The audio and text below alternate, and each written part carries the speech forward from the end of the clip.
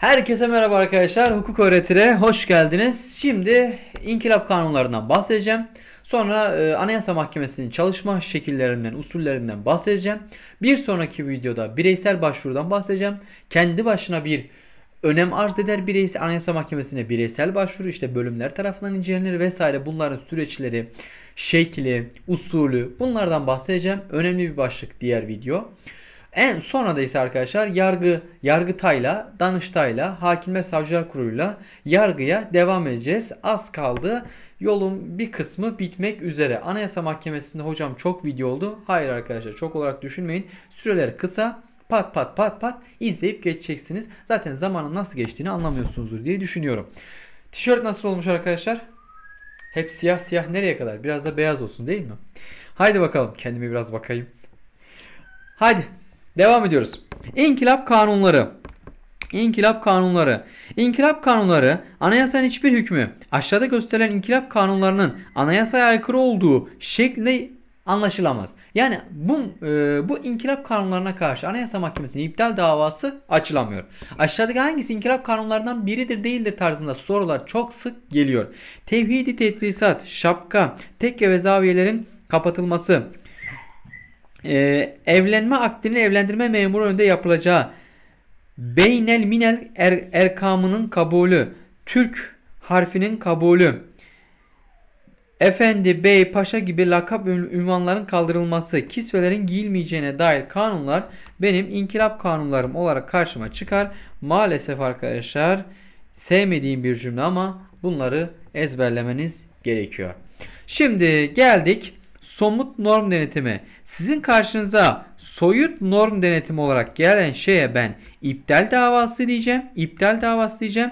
Ve işte bu 10 gün 60 gün kimlerin dava açabileceği gibi o CC'ler aklına gelecek. Ne ezberleyecektin sadece? Kanun değişikliğinin şeklini ve esasını inceleyecektin. Hatırladın mı? İşte bu bu soyut norm denetimi. Bir de bizim karşımıza çıkan ne varmış? Somut norm denetimi. Somut. Hocam somuttan kastı ne? İtiraz yolu. Bakın burada görülmekte olan bir dava var. Tamam. Mahkemede bir mahkemede bir davam var. Mahkeme başkanının kendinin fark etmesiyle veya da tarafların itirazı yoluyla ey mahkeme beni yargılıyorsun X kanununa dayanarak fakat senin bu X kanunun anayasanın bilmem hangi maddesine aykırı. Zamanında şekil davası açılmamış. 10 gün süre geçti. Esas davası açılmamış. 60 gün süre geçti. Hocam ben nasıl dava açacağım o zaman? Anayasaya aykırı olan bir kanun maddesi var. Ve ben bu kanun maddesini uygulayarak hüküm vereceğim. Tarafları ne yapacağım? Sonuçlandıracağım davasını. Şimdi ben burada nasıl yapacağım? İşte bu dava yoluna da ben ne diyorum? İtiraz yolu. Hocam diğer adı somut norm denetimi. Somut bir dava var öyle aklına, o aklına kalsın. Soyutla somut bazen karıştırılabiliyor.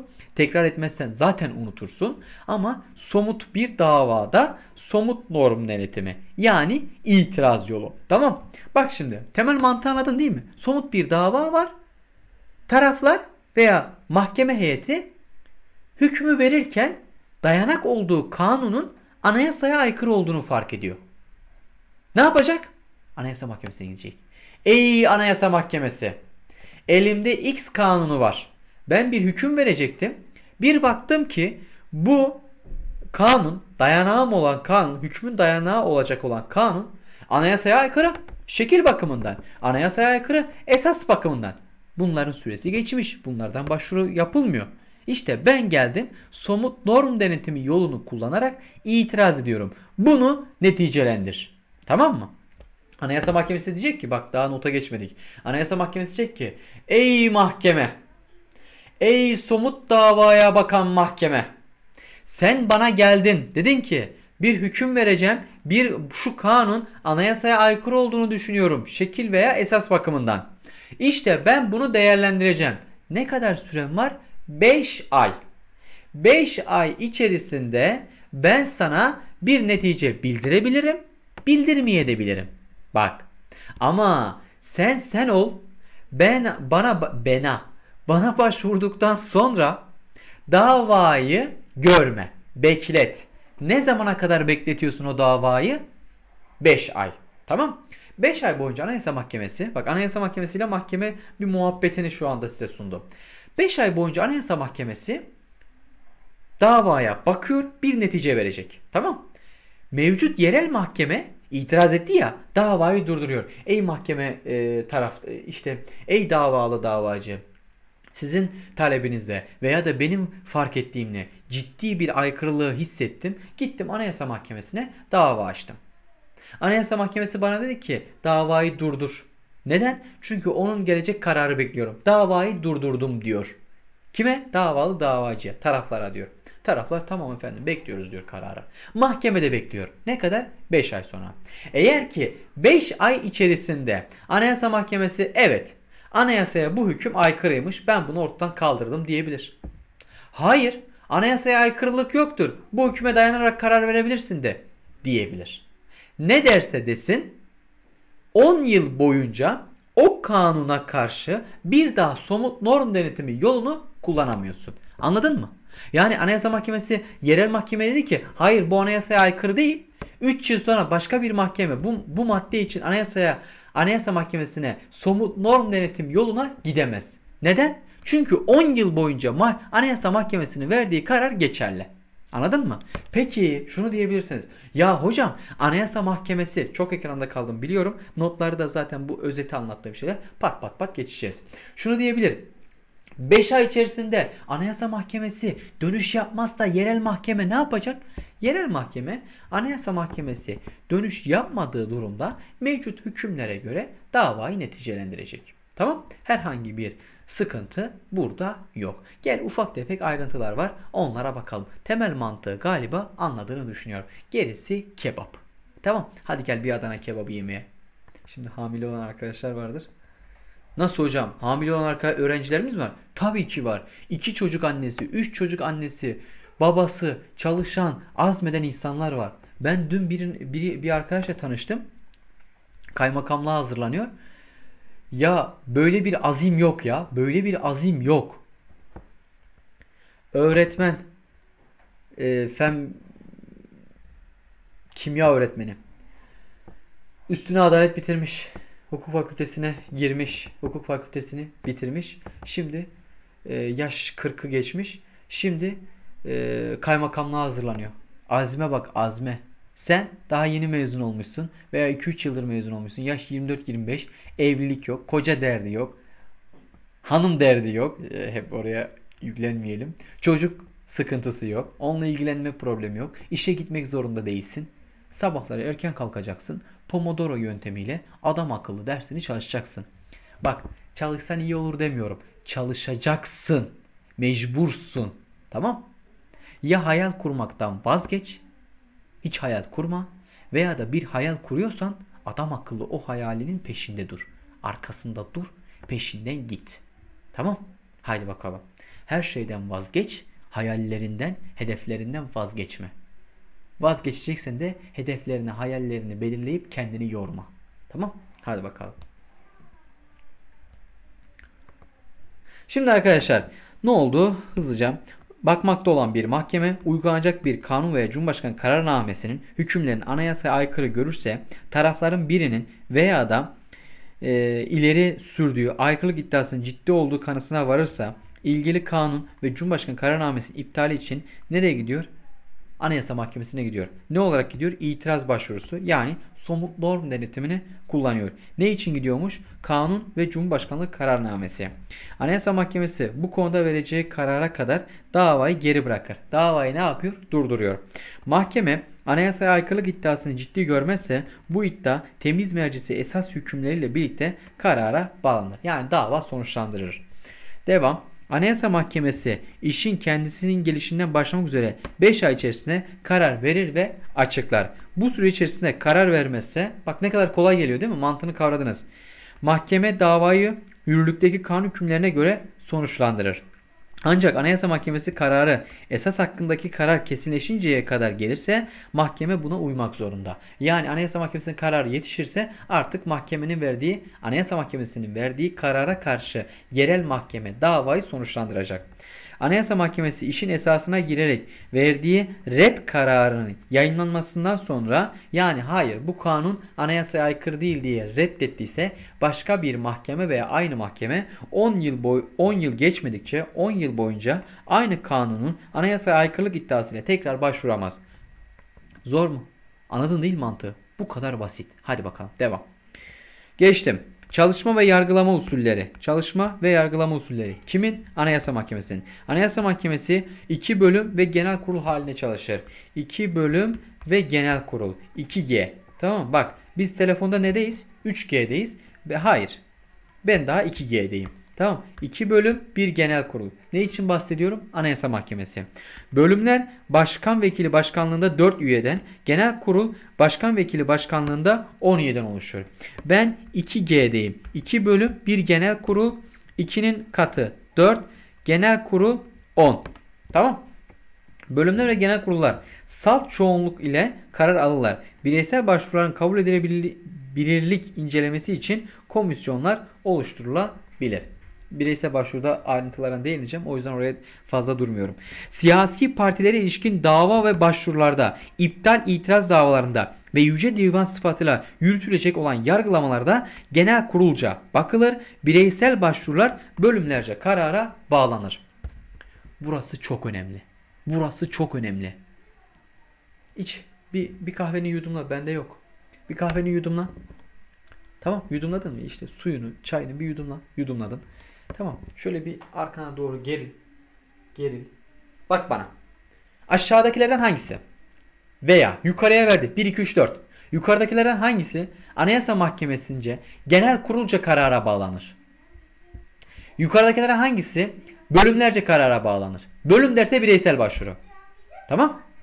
Ama siyasi partilerle ilgili davalar, Anayasa Mahkemesi'ne iptal, şekil bakımından esas bakımından açılacak iptal davaları veya Yüce Divan sıfatıyla yargılama durumlarında Anayasa Mahkemesi nasıl bunu karara bağlıyormuş? Bölümler mi genel kurul mu? Bölümler. Önemli. Bak yeminle döker. Bak bu soru çok zor ha. Çok zor. Genel kurulun karara bağlayacağı durumlar, davalar, bölümlerin karara bağlayacağı davalar. Sen temel olanları bileceksin. Tamam? Gelir. Dikkat et. Şimdi iptal ve itiraz. Çok önemli anayasa değişikliğinin iptale, siyasi partinin kapatılmasına ya da devlet yardımına yoksun bırakılmasına toplantıya katılan üyelerin 3'te 2, 3'te 2 çoğunluğuyla karar verilir. Çıkmış bir soru söyleyeyim mi? Hangi yıldı? 2010 yılında ben idari yargı hakimlik sınavına girdim. Bu soru orada çıktı. Okuyorum diyor ki aşağıdaki Anayasa Mahkemesi ilgili verilen bilgiler hangisi yanlıştır? Okuyorum okuyorum 5 şık doğru doğru cevap yok. Bir de okudum bir de doğru cevap yok ve ilk soru. Kendi kendime ne dedim biliyor musun? İlk soruda takıldın ya. Bitti bu iş dedim. O kadar moralim bozuldu ki. Acemilik işte. İlk soru zor olabilir ya. O %5 sınavın zaten çok zordur. Seçicidir. O da ilk de bana ilk benim ilk benim kitapçının ilk sorusuna denk geldi. Niye moralini bozuyorsun? Bozma. Ama 5 o kadar inatlaştım soruyla 5 dakika sonra cevap buldum. Buldum ama içim rahat işaretledim ama o kadar kasmışlardı. Bu yıl e, şu bugünlerde yapılan sınavlar o kadar kasmıyor ama biz tedbir olarak bilelim. Bak soruya bak. Okudum okudum okudum hepsi doğru. Diyor ki Anayasa Mahkemesi'ne açılacak olan siyasi partilerin kapatılması kararını Anayasa Mahkemesi toplantıya katılan üyelerin 3'te 2 çoğunluğuyla demiyor. Üye tam sayısının üye tam sayısının 3'te 2 çoğunluğuyla verir diyor. Bak toplantıya katılan dememiş üye tam sayısı demiş. İşte cevap yanlış olan ifade buydu. Cevap buydu. Bunu göremedim. Bu kadar da olmaz dedim ya. Odur budur hiç unutmam. Küçük ayrıntıları severim. Üstünde de dururum. Gereksiz ayrıntılar üstünde durmam. Bu gereksiz değil. Çıktı bir soru. Tamam. Demek ki üye tam sayısının 3'te 2 çoğunluğu değil. Toplantıya katılanların 3'te 2 çoğunluğu. Tamam. Umarım unutmazsın. Umarım sınavda çıktığında benim ben zorluk çektim sen çekmem, çekmezsin. Çık ekrandan. Çık. Kendimi alamıyorum ekrandan. Şimdi şekil bozukluğuna dair iptal davası öncelikle incelenip karara bağlanır. Anayasa Mahkemesi Yüce Divan sıfatıyla baktığı davalar dışında kalan işleri dosya üzerinden. Anayasa Mahkemesi dosya üzerinden görüş e, davaların tamamına yakın dosya üzerinden görüşür. Aşağıdakilerden hangisinin dosya üzerinden görüşmez? Cevap Yüce Divan sıfatıyla baktığı davalar. Al sana potansiyel bir soru. Hangisini öncelikle inceleyip karara bağlar? Şekil bozukluğuna ilişkin açılan davalar. Ya bunlar birebir soru ya. Birebir. Yapın şunları. Hocam ben hangi e, test e, kitabını alıp çözmeliyim? Al işte sana test. Devam. Bireysel başvurular duruşma yapılmasına karar verilebilir. Mahkeme ayrıca gerekli gördüğünde sözlü sözlü açıklamaları dinlemek üzere ilgilileri konu üzerinde bilgisi olanları çağırabilir ve siyasi partinin kapatılmasına ilişkin davalarda yar, davayı açan Yargıtay Cumhuriyet Başsavcısı ve sonrasında kapatılması istenen siyasi parti genel başkanının veya tayin edeceği bir vekilin dinlenmesini isteyebilir. Yani sözün özü şu. Siya, e, ilgili kişileri çağırıp sözlü olarak dinleyebiliyor Anayasa Mahkemesi. Aynı şekilde siyasi parti lere açılan kapatma davasına karşı da arkadaşlar siyasi parti genel başkanı veya onun tayin edeceği bir kişiyi dinleyebiliyor. Anlat bakalım siyasi partinin neden kapatılma davası açılmış, neden kapatılmamalı, bu iddialar hakkında ne düşünüyorsun diye çağırabilir. Aynı şekilde e, bu davayı açan kimdi? Siyasi parti kapatma davasını açan Yargıtay Cumhuriyet Başsavcısını da çağırabilir. Tamam. Şekil bakımından açılacak olan davaları ne yapıyordu? Öncelikle inceleyip karara bağlıyordu. Yine arkadaşlar davaların büyük bir kısmı dosya üzerinden görüşüyor. Bir tanesi dışında. Hangisi? Yüce Divan sıfatıyla yargılama yaptığında. Tamam. Boğazım kurudu. Hadi bakalım bireysel başvurulara gelmem lazım. Gelmişiz zaten. Son sayfa. Hadi son sayfa Pomodoro 25 dakika. Umarım 25 dakikaya geçmemişizdir. Anayasa Mahkemesi'nin kararları kesindir. Gerekçesi yazılmadan açıklanamaz. Anayasa Mahkemesi'nin kanun ve Cumhurbaşkanı kararnamesinin tamamını veya bir hükmünü iptal ederken kanun koyucu gibi hareketle yeni bir uygulamaya yol açacak bir karar veremez. Yani kardeşim sen Anayasa Mahkemesi'sin. Sana açılan davayı iptal et veya açılan davayı reddet. Kanun yürürlükte kalsın. Fakat yeni bir uygulamaya e, oluşturacak şekilde bir karar veremezsin. Sen bir yargı organısın. Sen bir yasama organı, yasama değilsin. Yasama yasa yapar. Yargı bunu reddeder, aykırı bulur, ortadan kaldırır. Başka bir iş yapamazsın diyor. Temel mantık bu. Tamam? Şimdi bak. Devam. Devam. Kanun Kanun, Cumhurbaşkanı kararnamesi ve TM iş, tüzük, e, iş tüzüğü ya da bunların hükümleri iptal kararı resmi gazete yayımlandığı tarihte yürürlüğe girer. Yani Anayasa Mahkemesi karar alır ama bunu yayımladığı tarihte yürürlüğe girer. Bu önemli bir ifade ve ayrıntıdır. Hocam kaymakamlık sınavı için hocam kaymakamlık sınavı için bu videolar yeterli mi? Yeterli. İdare hakimlik için yeterli. Sıkıntı yapma. Tamam? Gereken hallerde Anayasa Mahkemesi iptal hükmünün yürürlüğe gireceği tarihi ayrıca kararlaştırabilir. Bu tarih kararın resmi gazete yayınlandığı günden başlayarak bir yılı geçemez. Bir yıl erteleyebiliyor mu? Erteleyebiliyor. Aynı seçimler gibi savaş sebebiyle bir yıl geriye bırakılabiliyordu ya. Aynı Anayasa Mahkemesi kararlarını da o şekilde değerlendirebilirsin. İptal kararları geriye yürümez. Bu iptal kararları üzerine konuşmak isterim biraz aslında ama geriye yürümezlikle ilgili e, mantığını kavratmak için ama konuşmayın. Ben onu sınıflarda anlatıyorum. Konferanslarda da anlatıyorum. Burada anlatmayalım. Arkadaşlar Anayasa Mahkemesi kararları kesindir. Gerekçesi yazılmadan açıklanamaz. Bir yıl geriye bırakılabilir. Yayınlandığı tarihten yürürlüğe girer ve iptal kararları geriye yürümez. Bunları bileceksin. 5 şık birini kaldırır 4 şık yapar. Üye sayısını sorar. Anayasa Mahkemesi ile ilgili temel mantık bu. Şimdi Anayasa Mahkemesi başlığı adı, altında yayınlamayacağım. Bireysel başvuru olarak yayınlayacağım. Bir sonraki videoya Bak buraya bireysel başvuru hakkı Anayasa Mahkemesi'ne bireysel başvuru olarak yayınlayacağım. Bir sonraki video çok kıymetli, her yerde bulamayacağınız ayrıntıya sahip olan bir içerik. Kaçırmayın derim. Evet kendine iyi bak. Kanala abone olmayı unutma. beğenerek ve videolara yorumlar yaparak düşüncelerin bizim kanalın ilerleme sürecinde bize yol gösterir. Yorumlarınızı, eleştirileriniz baş tacıdır. Hakaretleriniz kalp kırar. Tamam.